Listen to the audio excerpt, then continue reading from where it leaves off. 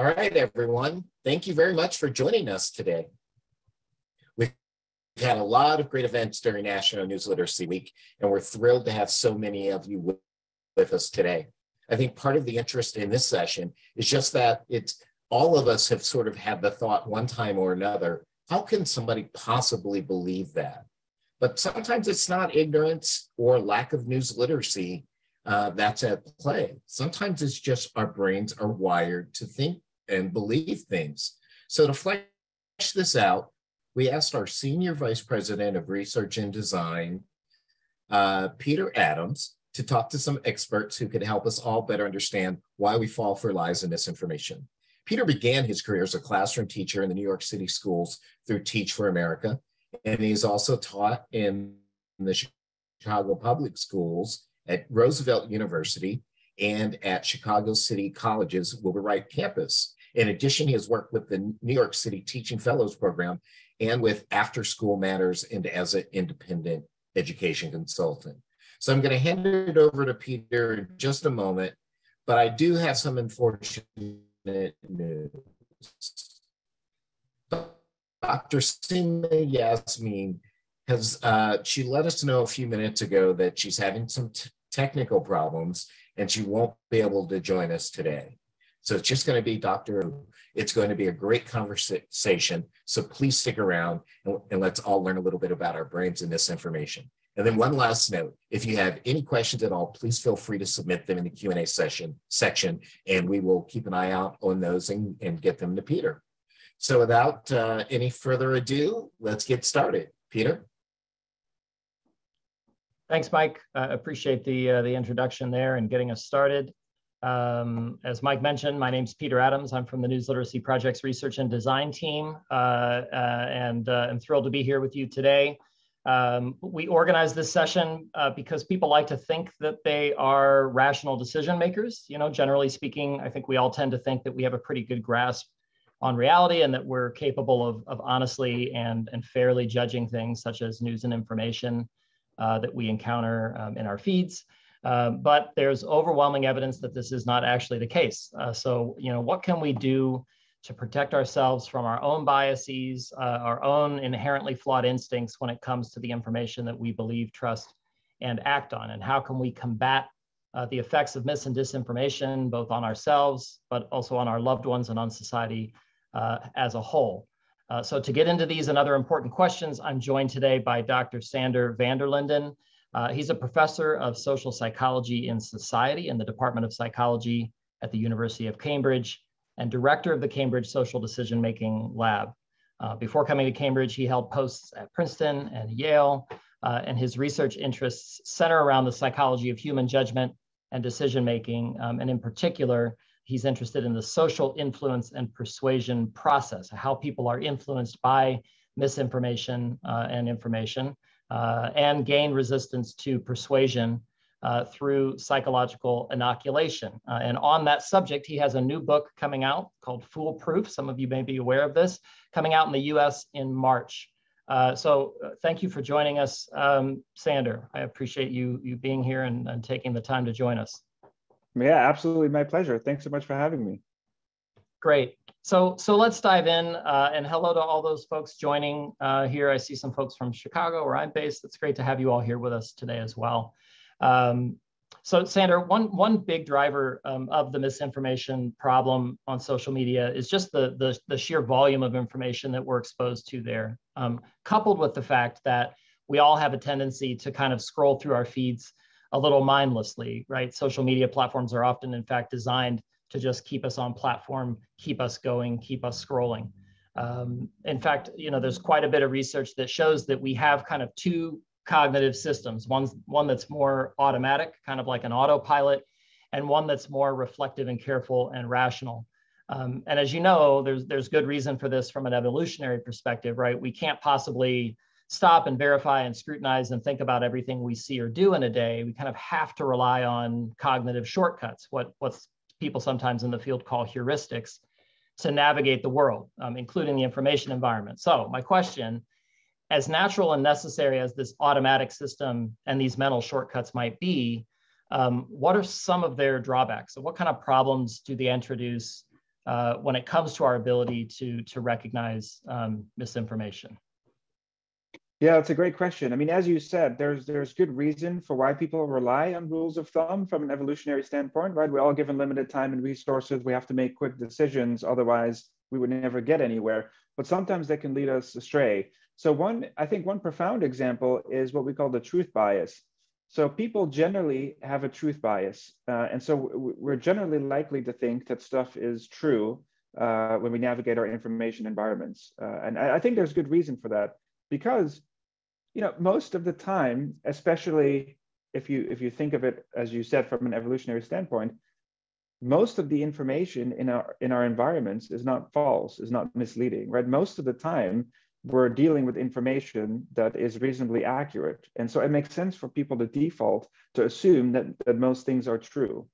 But when you then shift to an environment where the base rate of information is slightly different, right? Misinformation might be more common. So for example, think about shifting on, on the social media or other platforms where the prevalence of misinformation is much higher, then all of a sudden that heuristic doesn't do so well because now the base rate is not so low that most of the time it's going to be fine. In fact, turns out that a lot of the times you're actually interacting with misinformation, but you're still operating on that intuition that most of the things are probably true. So I'll share, I'll like, and so on. So I think the truth bias is, is one example. And related to that is something called illusory truth. So illusory truth is a really prominent and replicated finding, even in, in kids from as young as five years old, that the, the more often we repeat a claim, the more likely our brains are to think that it's true.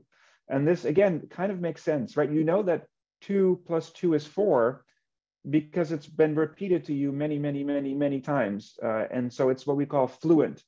So unfortunately, though, the brain associates this concept of fluency or familiarity uh, as a, with the signal for truth. So the more familiar something feels and the more fluent it is, so the easier it is to process for you.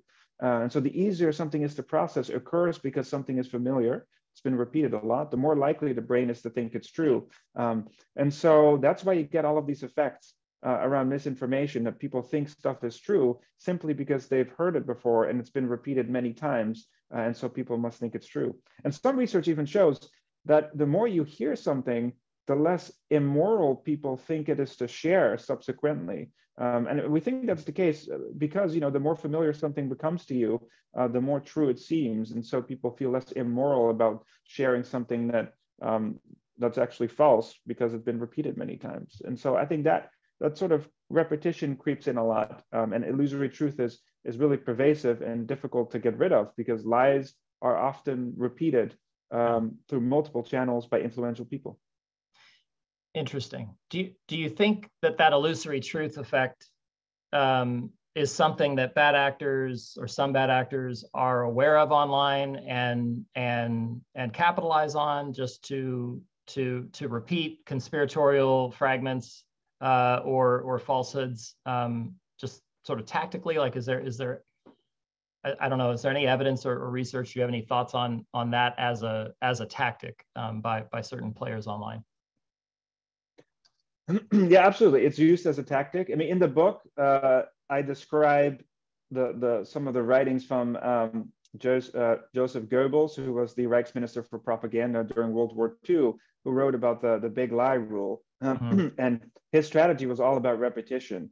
Um, and in fact, the bigger the lie, he reasoned, the more unlikely it is that people are going to question it because, you know, who would assume that people would lie about something so grotesque? Um, and so the strategy of just making up outrageous lies and repeating them all the time uh, was a, was was a prominent strategy in Nazi propaganda, um, mm. and it's it's very it's very well known. In fact, Hitler said um, that it's it's known to all expert liars in this world. Um, and so I think it is used strategically um, by actors uh, to manipulate public perception, uh, and we've seen that with with probably don't have to name the prominent politicians who, um, who have engaged in this. Um, but it's also interesting because it it it's not always about polarizing stuff. So let let me give you an example, Peter. Mm-hmm. so in Spain, you know, Madrid is a city in Spain. It, it's the most populous city in uh, Europe. So there's a lot of people in Madrid. It's a big city, real big, a lot of people. And so Madrid is a city in Spain. It's it's super populous, right? If you look at Europe, most people live in in Madrid. It's it's the biggest city in Spain. It's it's most you know very populous. Uh, that's where all the all the people congregate. Then a few seconds later, I'll, I'll, I'll so, I'm sorry to have to say, in fact, that was total misinformation. Uh, so, so right, so Madrid is not the, is not the populous, the most populous city in, in Europe. Um, but if you don't have expert knowledge about what the most populous city is in Europe, you're now going to think Madrid is now in your mind. And it's going to be very difficult to, to get rid of Madrid. So uh, I'm sorry, APA, if that was an unethical experiment. Uh, uh, but you know, just just just for the record, I'll correct it and say that you know this Madrid is not the most populous city in, in Europe, but that's how it works. Interesting. Yeah, I, I think that the sticky aspect of misinformation is something that that also gets uh, capitalized on, right, and and, and deployed, um, and makes it particularly hard to to address. So so you know, you cited the the example of of Nazi propagandists who used the illusory truth effect. I think also, um, you know, Russian disinformation campaigns more recently have have used that uh, just to cast a question over over a situation. So you know the the, the use of of Russian uh, force and, and arms in Syria or uh, human rights abuses in Syria and atrocities. Uh, they just wanted enough to, to question whether or not these things were being quote unquote staged, right? They were pushing sort of this false idea that that these were faked or staged enough to just raise the question, right? Not to not necessarily to convince anyone uh, otherwise, just to just to convince people that that uh, this is a, an undecided thing. Um, and I think we've also seen that right in the climate change debate quite a bit, or so-called debate.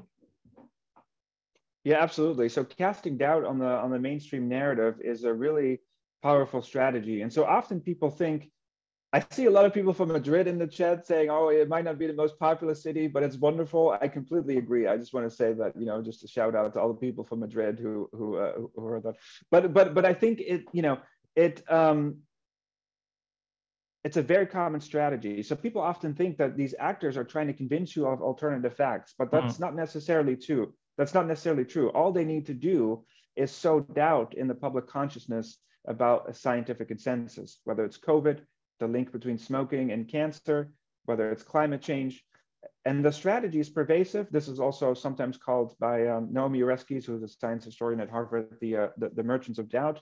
Uh, and there's been documented evidence that in fact this has been their strategy to, to combat facts with sowing doubt, uh, which is much easier than trying to convince people of something. Getting people to doubt something is a lot easier than trying to convince people of something else. And so just saying like, oh, oh, well, here, here's these other scientists that don't mm-hmm. agree. And there, there are some, you know, let's prop up contrarians, let's make yeah. them look like experts. Um, and that does a lot of damage in terms of public confusion. And I think that's hugely underestimated.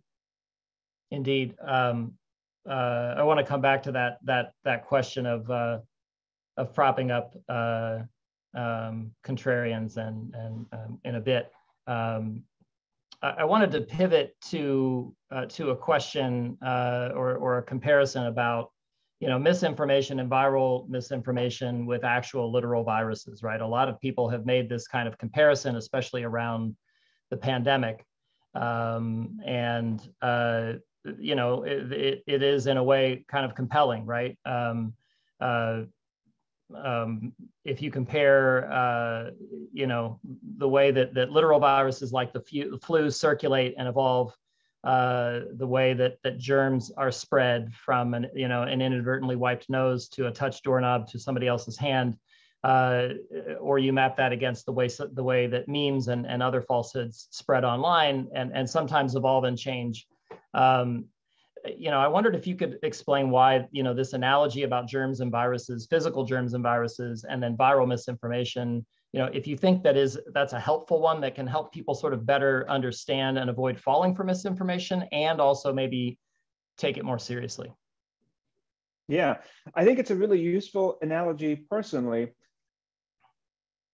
partly because of, of the research that we've done on it. You know, sometimes people say, okay, well, you know, I get it with the pandemic and it's it's an interesting analogy and it's timely. But in fact, you know, we were working on this long before the, the pandemic because the, the analogy is actually very close in terms of how you how you can study this. And that is what makes it interesting to me as a scientist.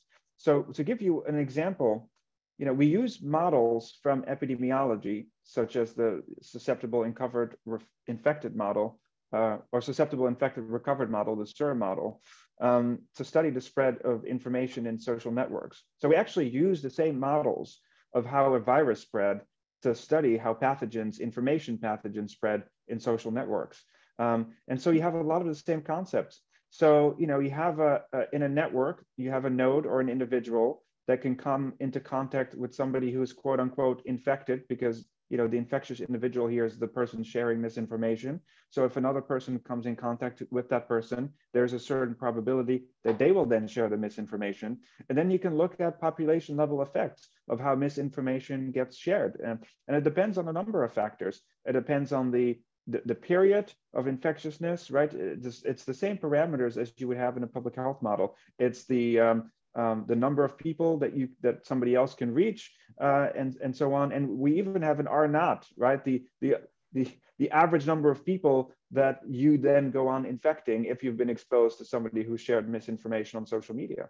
And if you do these models, you can actually find out that most social media platforms have infodemic spread potential uh, in the sense that misinformation can you know can spread very widely across the across the network um, and a lot of the other concepts are not just metaphors. So we know that a lot of asymptomatic people can spread a virus, right? But that mm-hmm. also works the same with information. A lot of people are sharing this information without knowing it. So you know they they they're sort of asymptomatic, um, and you can take all of that into account in models and try to understand this problem at a really at a, at a scientific level. And that also leads to thinking about what we can do about it in, in terms of, of, of intervention. So yeah, I think it's more than just kind of a conceptual analogy. It's, it's actually how you can study this problem. And I realize that, yeah. you know, th- there are ways in which it deviates and there are other ways to study this problem that are also completely legitimate. Um, but I think it's an interesting angle, I think, from the perspectives of understanding how information spreads in networks. Got it. Um, if I can put you on the spot real quick, this is something our team talks about sometimes.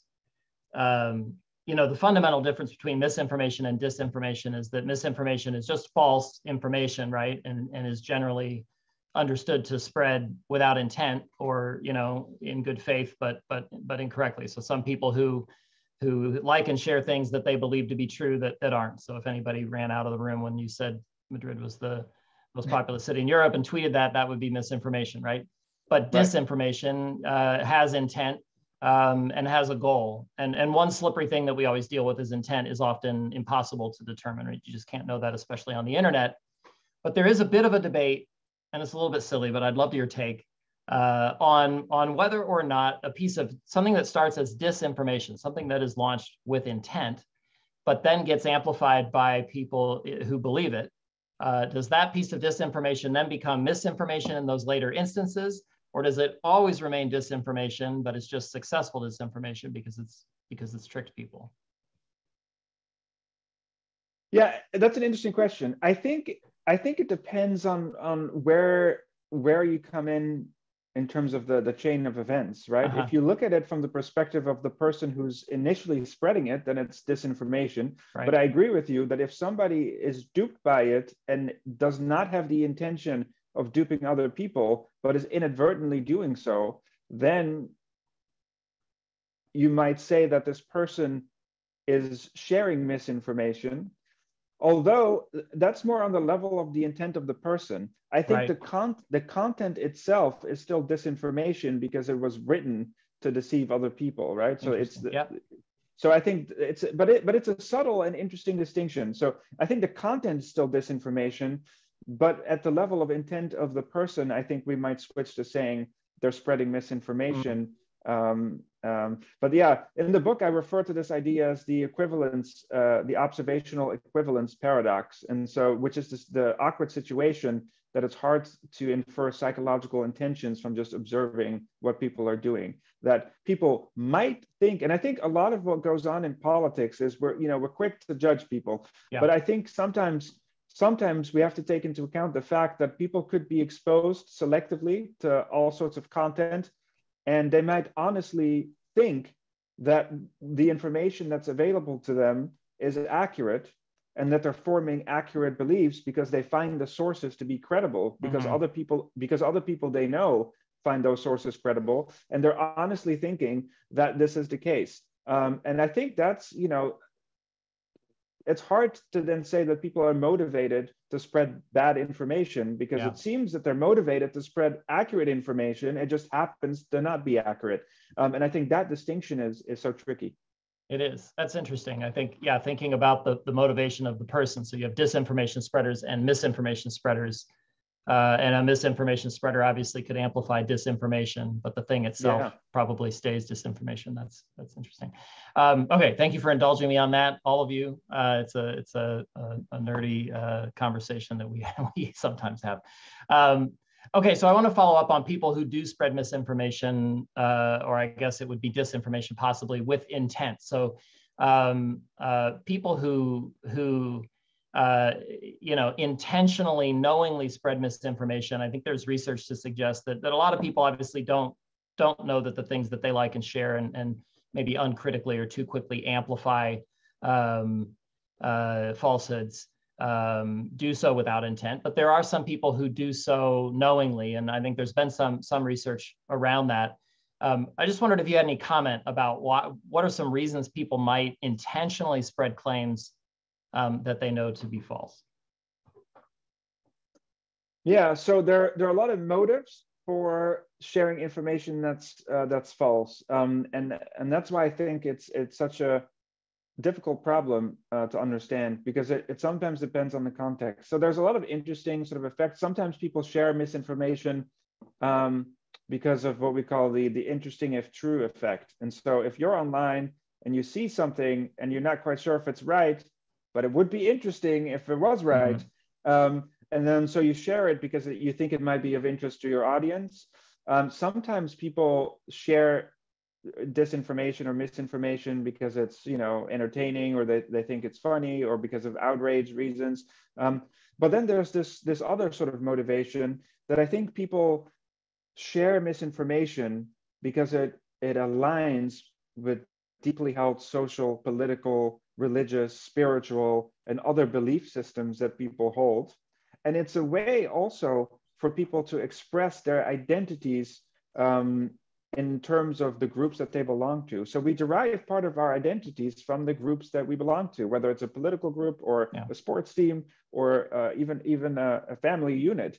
Um, and so sometimes disinformation offers an opportunity to either bolster the in group and say, look, this is what we believe, or this is what makes my group look good, or it derogates the out group.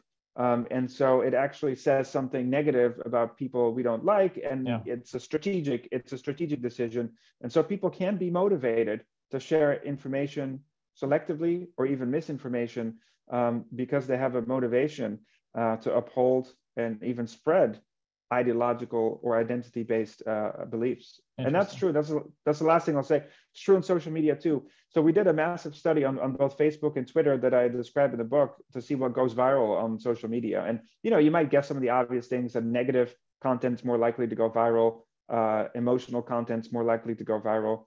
But one of the things that was most surprising to us was really that for every so we coded the the words in the posts right? And so we had dictionaries so we could code the, the words. And for every additional what we called outgroup word so you know they uh, and mm. and and other and others or liberal if you're conservative or conservative if you're a liberal every additional outgroup word really saw a massive increase in the odds that it would be retweeted or, or shared uh, and this was on facebook this was on twitter this was from news media organizations, as well as members of Congress, that we found that consistently derogating the other side is what gets traction on social media, at least in the United States. Um, and so I think that's a, that's a big part of the story. Interesting. To, to what extent do, do those deeply held beliefs and ideas uh, and identities kind of get get in our way cognitively speaking when we when we try to evaluate uh, the the credibility of something we see? Yeah, I think I think it depends on uh, on the context, and so there's kind of a big debate about this. You know, some some psychologists believe that most of the misinformation is due to inattention and people people are just not paying attention. We're bombarded by information and we make mistakes, um, or we get distracted on social media. And then there's other psychologists who really think that you know this is all due to, to other motivations that people have political mm-hmm. social and people are intentionally sharing this stuff And I think the truth is that it's probably depends on the context. You know, in a lot of research we do, we find that if you're if you find yourself in a context that doesn't cue your political or social belief systems, then people try to be accurate most of the time. You know, they're willing to update their beliefs, they're willing to listen to evidence. But when you put people in a situation that amplifies their commitments to particular groups or in situations that challenge ideological beliefs in uncomfortable ways, that's where you see that people are more likely to then selectively use information to bolster their worldviews and in fact also spread misinformation uh, to bolster their worldviews. And one of the problems with social media i think is that it shifts it shifts attention away from accuracy and it drives people more towards that identity based kind of mm. thinking about information. Because we know from from direct browsing studies so so we ask people to install you know apps in their browser so we can track what people people consent to this right? So we can track what what people do. And most of the time people just browse uh, random stuff. Most people are not highly politically active. Most people go to normal websites um, and uh, and are not polarized but then when people switch to social media uh, it's a different story. And so that that kind of leads us to think that there is something about the incentive structure of social media that puts people in a social context where different kinds of motivations are elicited. Now, that's not to say that it doesn't happen offline. It, it does. Thinking about cable news, for example, you can have very polarizing uh, uh, TV shows and TV channels that people are exposed to. Um, but it depends on, on the situation. Um, and I think that's often the, the nuance that gets lost in this debate between no, people are just tribal, we're following our tribes, we're basically just walking around and and we don't have any original ideas, we're just promoting our groups versus, oh, you know, people don't care about the groups that they belong to. We're just sharing things by accident, right? I think the truth's probably in the middle there. Interesting. And I guess ultimately, right, social media is is a social phenomenon, right? The likes and shares feel good. They give us a hit of, of dopamine when we get them. Uh, and the comments, especially if we've, uh, even if I think we provoke a, a kind of a sense of righteous outrage, right? Or, or a, a kind of a, um, response from our following that uh, that that expresses outrage, but in unity, uh, that that can feel good uh, and kind of raise people's standings in those in those online communities. So very interesting. Absolutely. Um, I wanted to pivot now to you know to stay with this this sort of epidemiological theme, but but to pivot to solutions. Um, you know, you've also made you know the comparison um, between uh, some solutions to misinformation and kind of physical vaccines or treatments for, for physical viruses. Um, and this is something that you call inoculation theory. I think also sometimes you, you, you describe it as a kind of pre-bunking technique um, that, that you believe, and I think you, you have, you've gathered evidence that's an effective and kind of preemptive way to, you know, quote unquote, immunize people against misinformation. Um, so I wondered if you, if you could take just a few minutes here and explain kind of what inoculation theory is uh, and, and why you believe it works. Yeah, absolutely. So inoculation theory or pre-bunking um, is really the idea.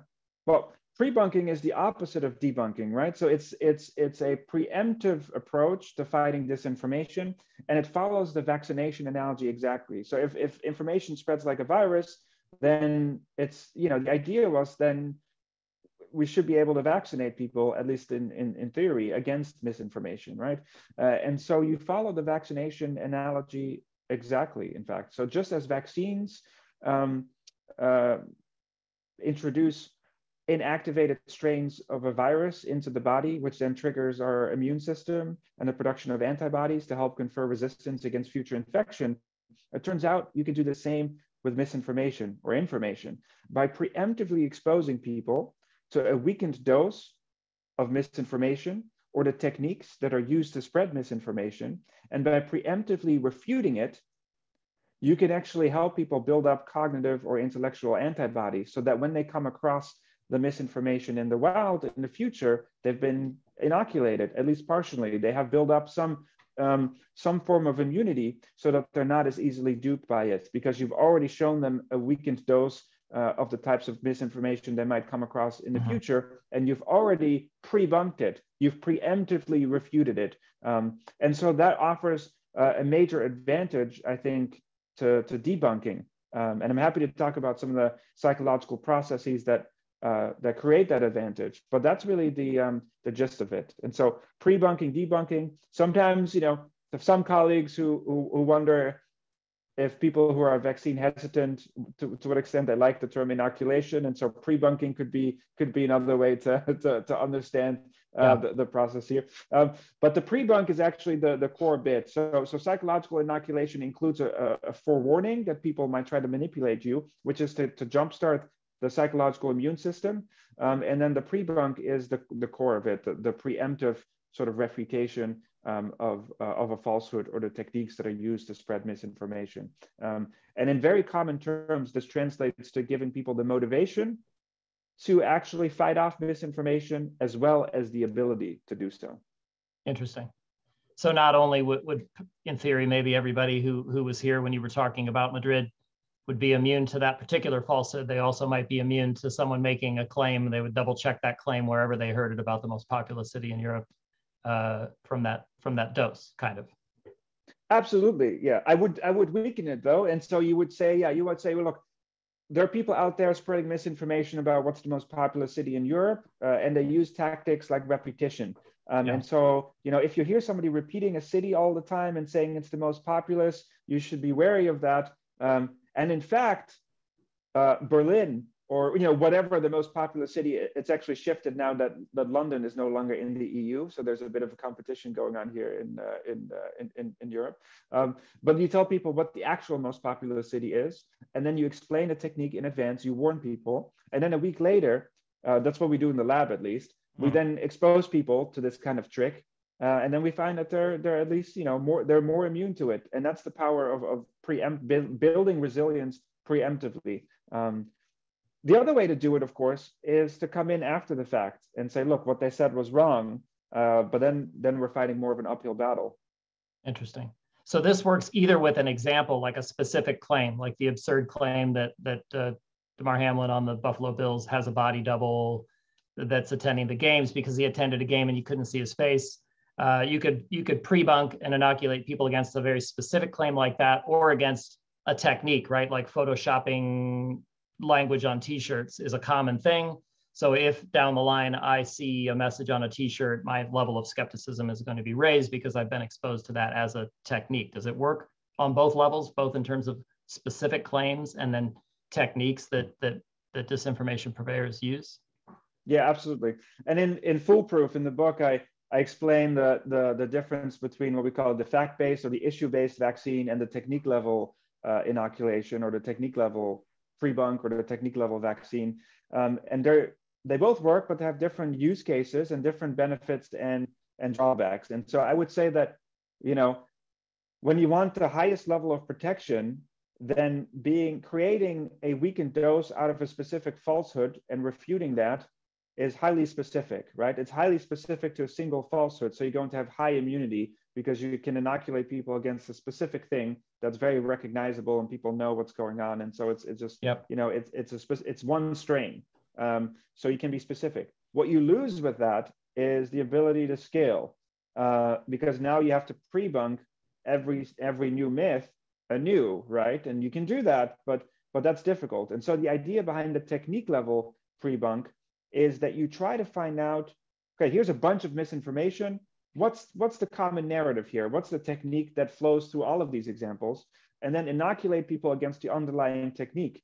And then, in, in fact, what we do in our interventions, what we see is we, we then expose people to a whole range of examples of this stuff and find that they're relatively more immune regardless of the of the specific example. So now you've inoculated against a whole mm. bunch of, var- of variants of the same virus.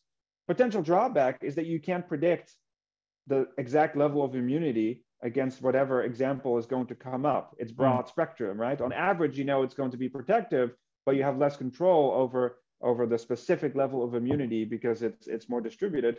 But then it scales, and so that's that's kind of the the trade off. And the last thing I'll say on that is that, you know, tech companies, governments, media organizations, sometimes there are reasons where people either don't want to be the arbiter of truth or they have concerns about the weakened dose uh, and and um, if it's controversial, for example. and the technique level offers a solution to that by, by basically using a completely inactivated strain. So the technique level is, is usually very broad um, and uh, an example that's very general. So you don't have to touch on any specific issue. So if you're a tech company, and we see this a lot in the work that we do with tech companies, you know, they don't want to say immigration, they don't want to say climate change, yeah. this, that.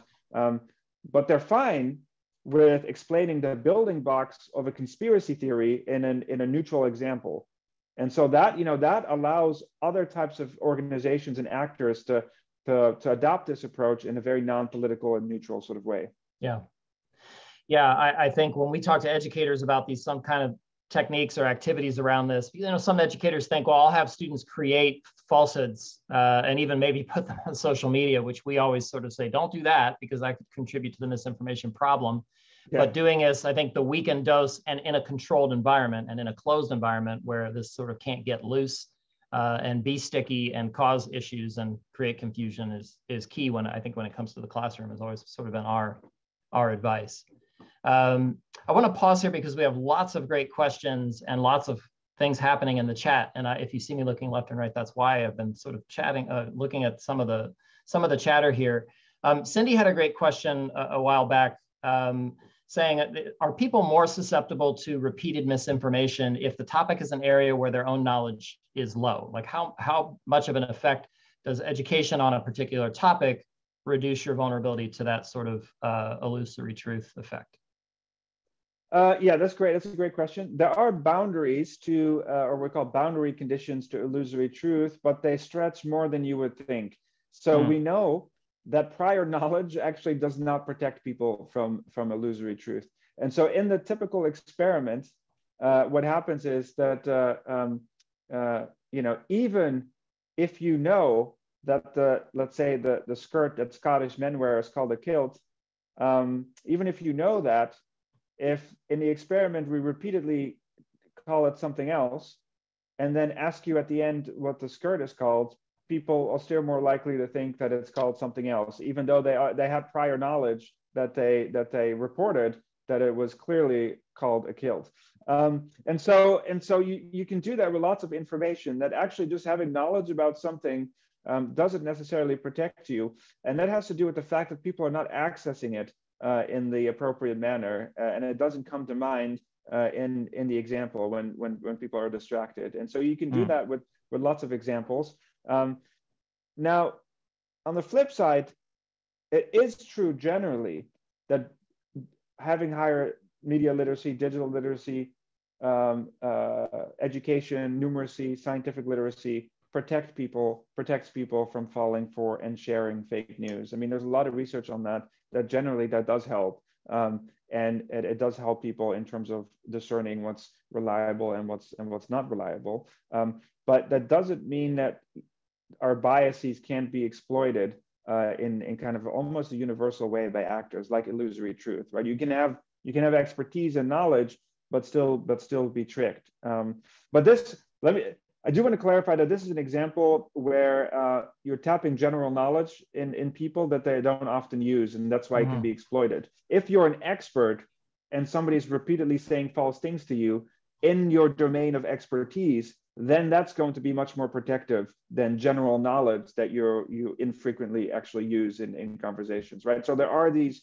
these boundary conditions, uh, and there are some things that don't work. Repeatedly telling somebody that the Earth is is flat uh, that's that's too far. Um, and so illusory truth tends to tends to be much lower with with, with the sort of completely ridiculous content. Um, so yeah, so there are these these, these limitations.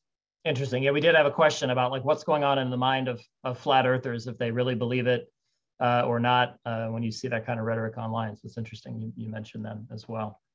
Um, yeah, yeah. In fact, maybe real short on this. In the book i describe uh, an episode from the netflix documentary on uh, on on on the you know behind the the, the curve. Uh, mm. and they they they actually the flat earthers they actually use a gyroscope uh, to, to to measure the uh, the motion. And then they they actually they realize that they're wrong um, and that the earth isn't flat. Uh, and then they immediately pivot to like wow. And in fact i quote this in the book and i say wow that was unexpected um, and uh, we can only conclude that the scientific method must be broken. Um, uh-huh. And so, it, so instead of updating their beliefs, they're motivated to reject the answer. So that's that's what you often get. They're so committed, they're so invested that there's going to be no way uh-huh. that they're going to change their beliefs. Uh, NASA must have made that gyroscope, or something like that, uh, to convince me. Exactly. Exactly. Yeah. yeah.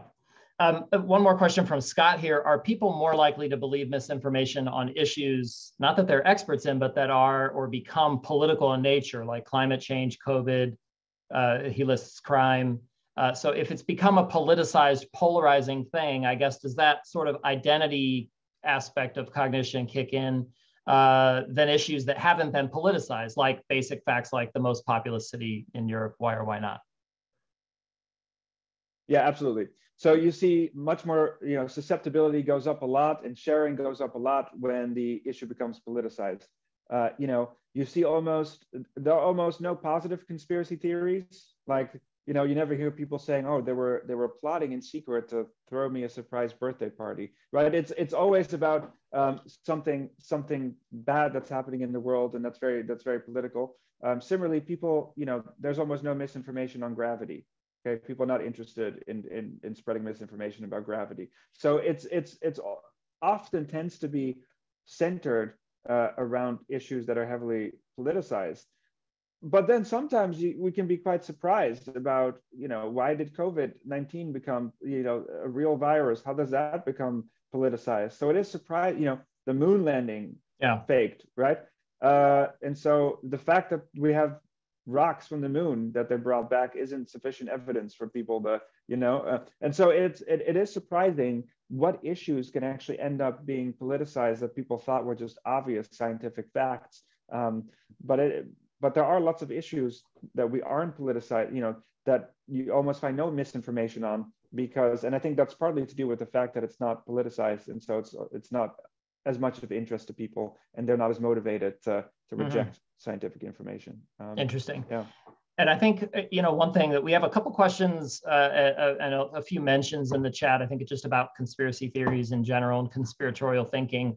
Um, and you know i think one there there are some psychological appeals right of conspiratorial thinking. They offer very very simple narratives uh, as you know, as as uh, as tortured and and and uh, complex as the narratives are, the underlying theme is is very simple, right? There's just the evil cabal doing all of this. Like it's not really a a complicated pandemic that I can't wrap my mind around. This virus, how it could possibly do this to the world.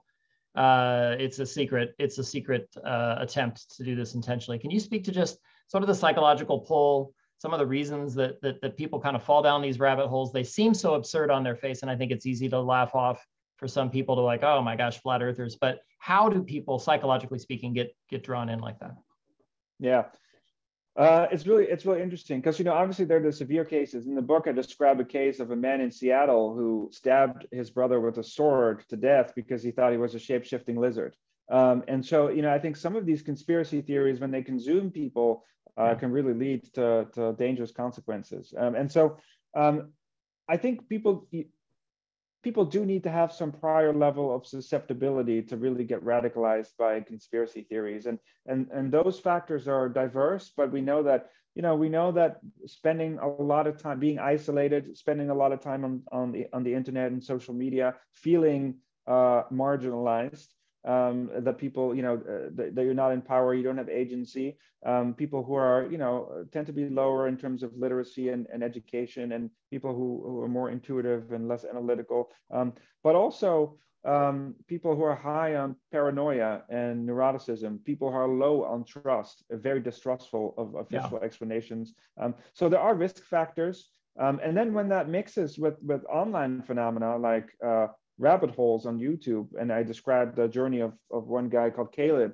in, in the book who um, has a profile in the New York Times about how he became radicalized by, by YouTube. Uh, because you know he did, and this is what I call the dance between motivation uh, and reason. Uh, so so he did search for what we call gateway content, right? Some political guru who's yeah. mildly mildly extreme but then there was a powerful algorithm that kept recommending that type of content to Caleb. Um, and he kept clicking on it, which reinforced the types of recommendations that he saw and just became consumed watching thousands and thousands of YouTube hours of YouTube videos uh, on this stuff, and and and that's where how people become radicalized and start to do uh, dangerous things. Um, and the psychology of it, I think, is that conspiracy theories are very powerful at a psychological level. For one, they they run like a multi-level marketing scheme. Yeah. Um, and so so it's it's once you've bought into one, you have to buy into several, and now it's no longer possible to to pull yourself back from that because your whole identity kind of collapses. But because it's all related, it's all connected. Um, uh, it, it, exploits the brain's desire to see causal connections where where yeah. there are none. And there's three core three core kind of psychological motives. Um, one is epistemological, the search for knowledge and simple explanations, what you pointed to. The second is relational, you know people who feel lonely who feel marginalized it gives them a community it gives yeah.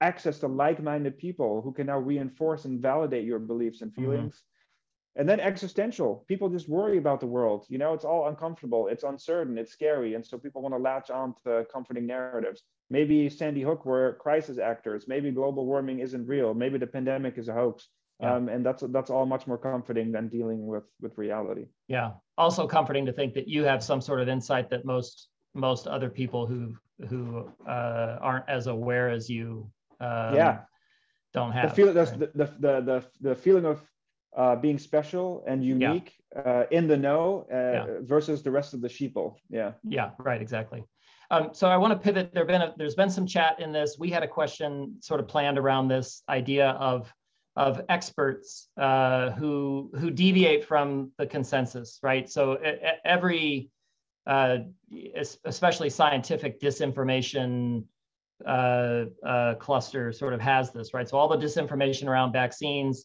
there are medical doctors, registered nurses, obviously a lot of naturopaths and homeopaths and pseudoscience um, practitioners, but there are some like bona fide licensed MDs who are very outspoken and, and speak against the scientific consensus on something like vaccine. There are bona fide, you know, people with with scientific uh, expertise, geologic uh, and and you know atmospheric expertise that speak out against climate change, um, against the consensus. And again, these voices are are outliers, right? 98, 99% of scientists agree on on the uh, the consensus around climate change, but there will be voices uh, who who who speak out against that those voices then get celebrated and amplified and embraced by conspiratorial communities and sometimes hyperpartisan communities who who see this or want to you know believe this is a legitimate debate.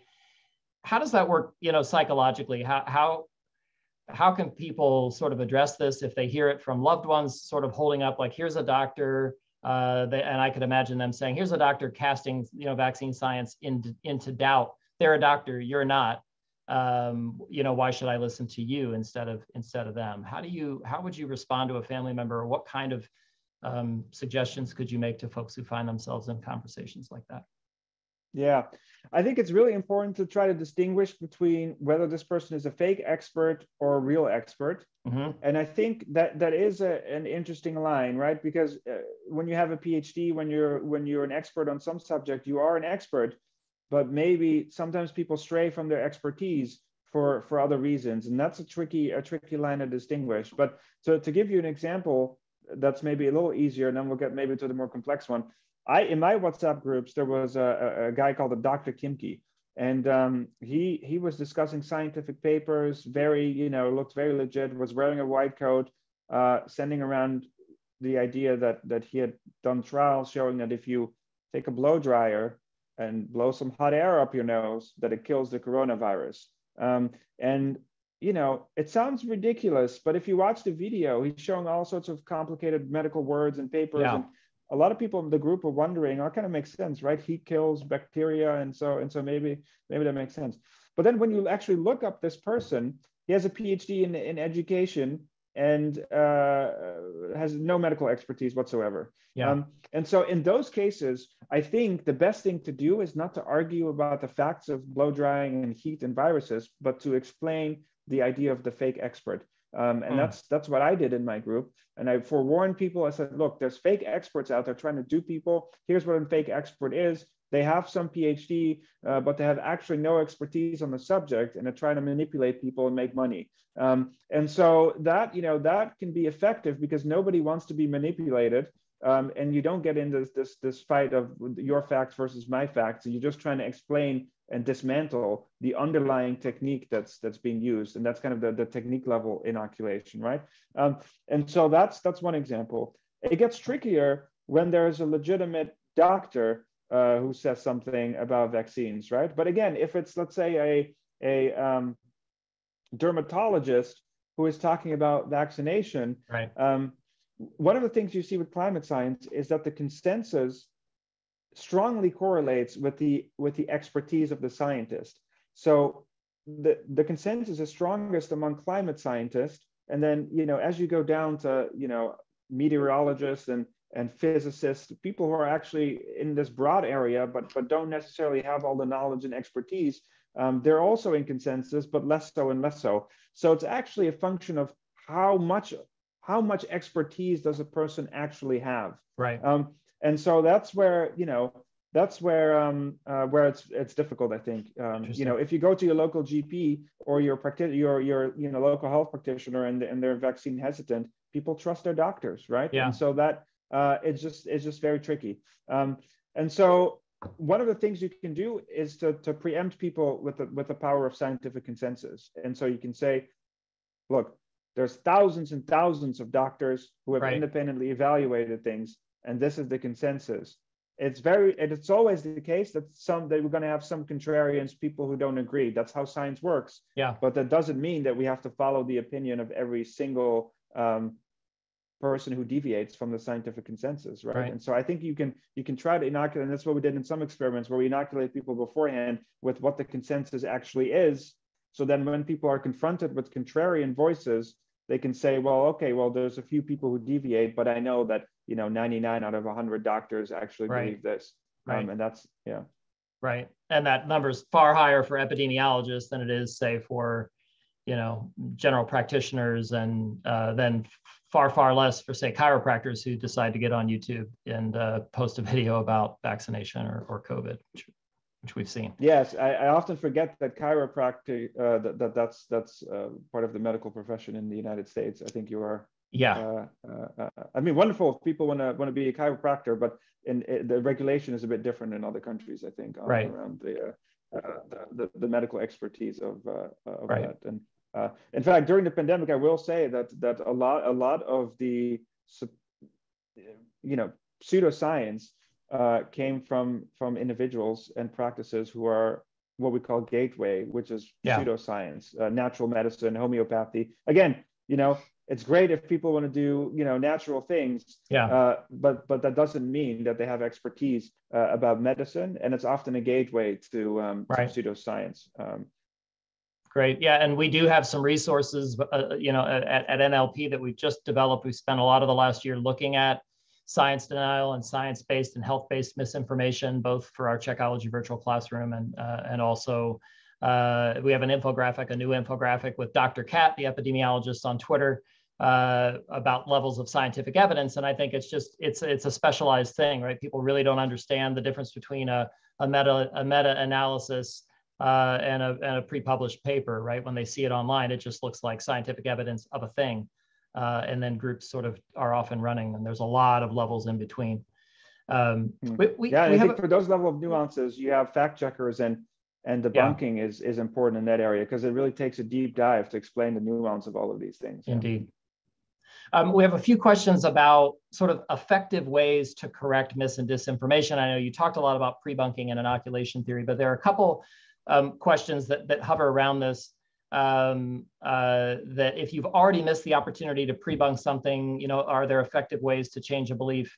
How can we better train fact checkers to correct mis and disinformation without accidentally increasing people's familiarity with the falsehood? So could could a fact check sometimes um, not just have a blowback effect when it threatens people's identity, right, and cause them to double down.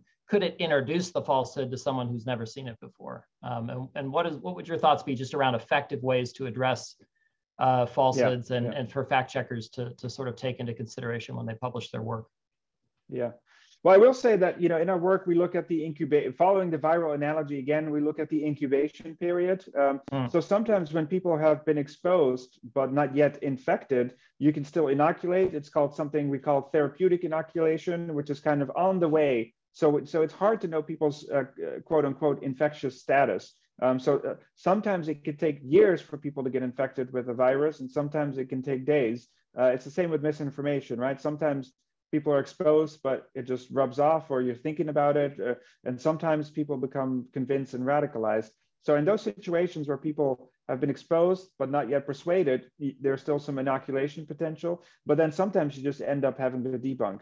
And so, the, the best way to debunk is to try to avoid repeating the misinformation too much. And so, yeah. there's this there's this there was this big literature that kind of showed okay fact checking backfires people get more upset they don't want to hear about facts um, in fact we've reanalyzed all of that literature and i think the consensus has, con- has significantly shifted on that i think debunking and fact checking is, is relatively low risk in that most people actually don't have adverse reactions to, to fact checking and debunking. It just so happened that the people, if it, when you do these experiments and you zoom in on the extreme people, that's where you see negative reactions. But if you if you think of the population as a normal sort of bell curve, that's a small percentage of the population, at least for now. Uh, and so and so, you know, fact checking and debunking uh, usually doesn't doesn't backfire in terms of in terms of identity and, and politics. It can happen with, with individuals who are very politically extreme and active,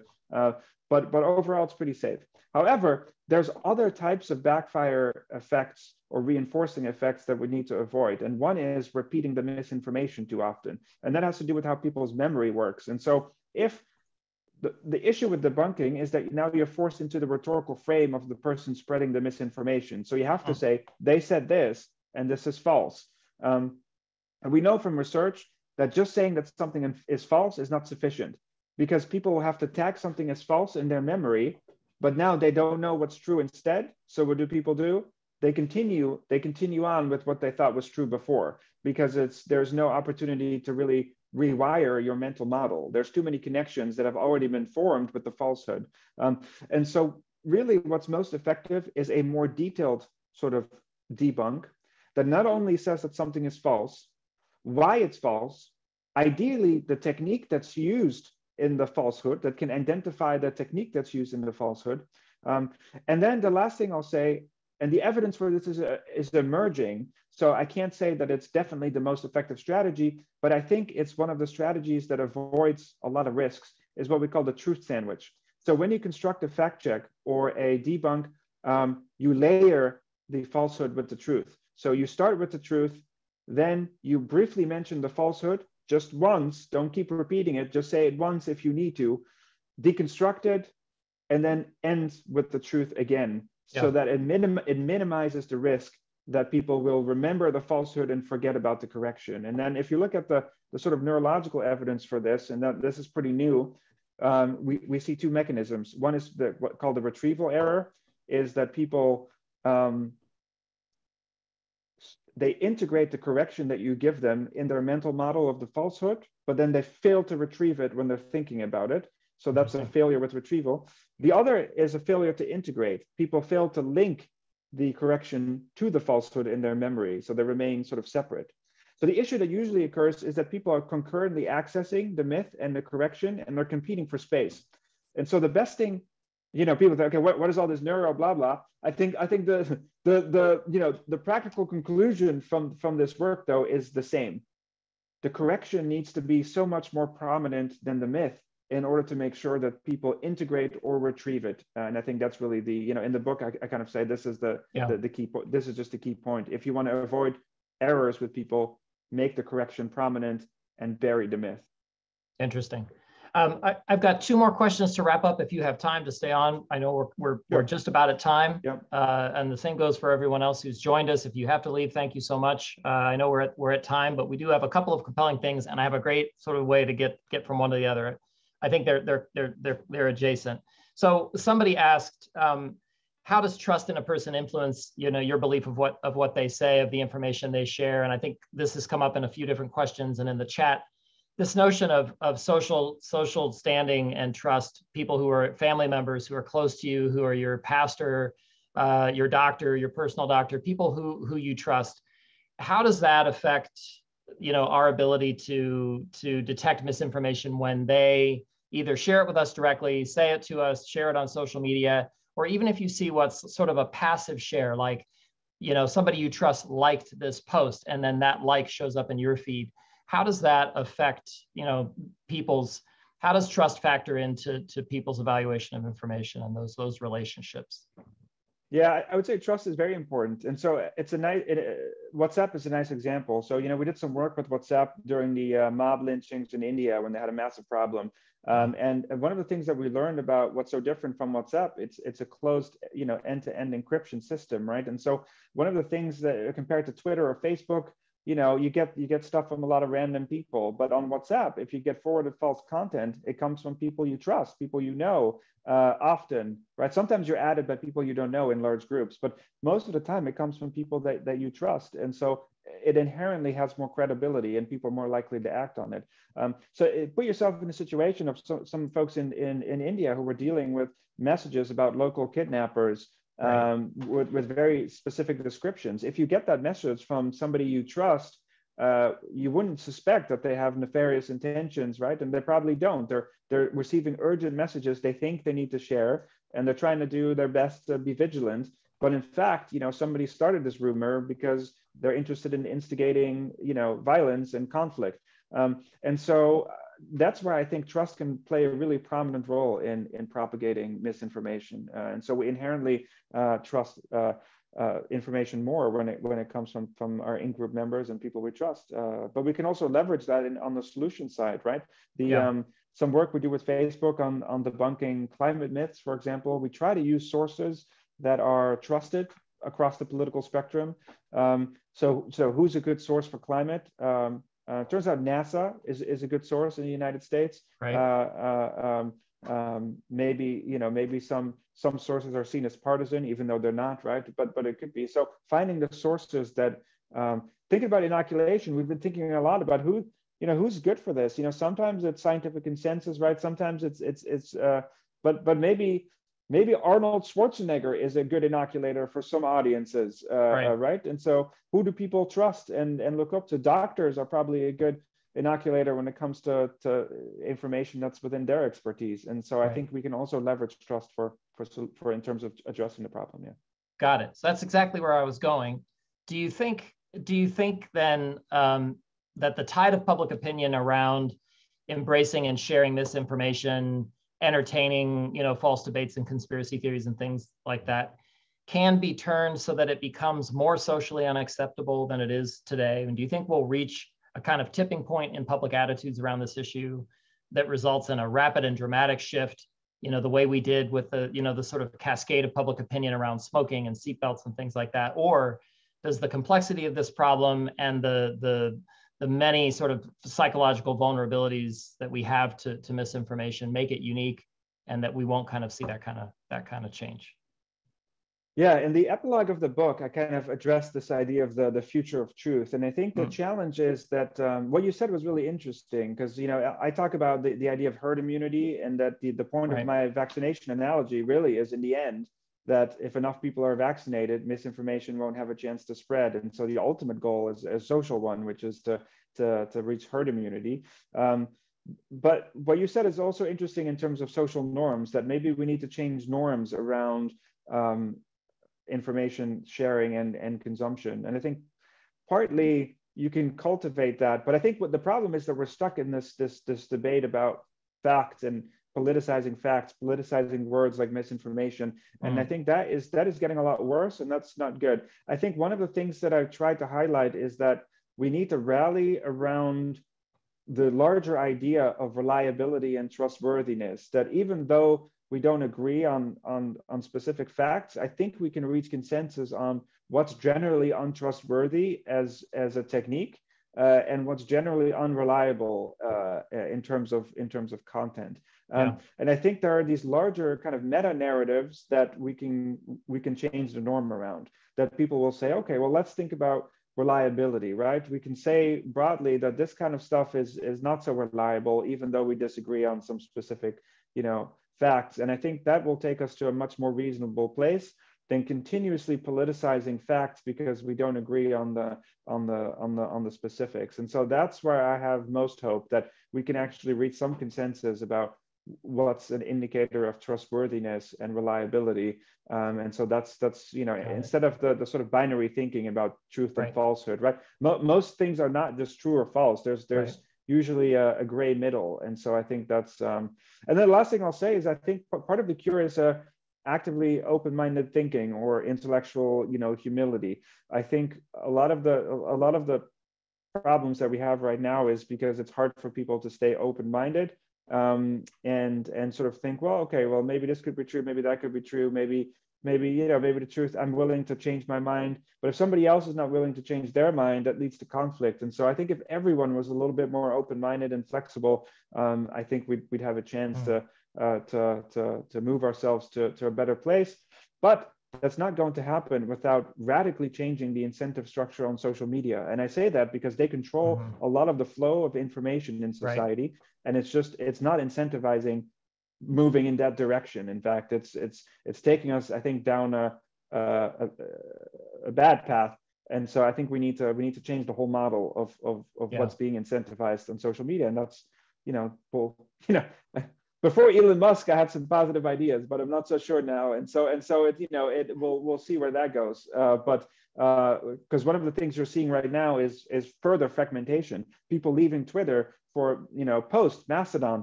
People are further fragmenting in terms of their information diet. They're getting into more severe right. echo chambers because now they're not. At least on Twitter, you were exposed to some alternative viewpoints. But if people are now going to heard, you know, all the right. science people are going to stay here, all of the you know free speech people are going to be on Rumble, um, then nobody is talking to each other anymore, and I think that's a real risk. Right. I love that. I like the idea of a of a of a uh, of a good faith, uh, informed, critical, open mind that doesn't entertain conspiracy theories or or debates that are that are pretty much closed debates, uh, but but do engage in in uh, in humility, like you said.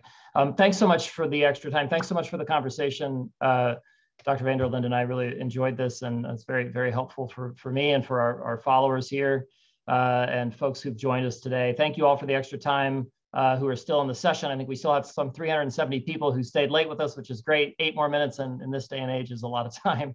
So I appreciate that. Uh, and again, Sander, thank you so much for, for doing this with us. Yeah, thanks so much for the great conversation. And thanks everyone for the lovely comments. Uh, it, was, it was a true pleasure yes, well, more questions than we could get to, but hopefully we got to a lot. Uh, thank you all for joining us and be sure to follow the rest of our activity here at the remaining uh, day of National News Literacy Week. Uh, you can do that at newsliteracyweek.org. Find the rest of our resources at newslit.org. Uh, and again, thank you and, uh, and good night.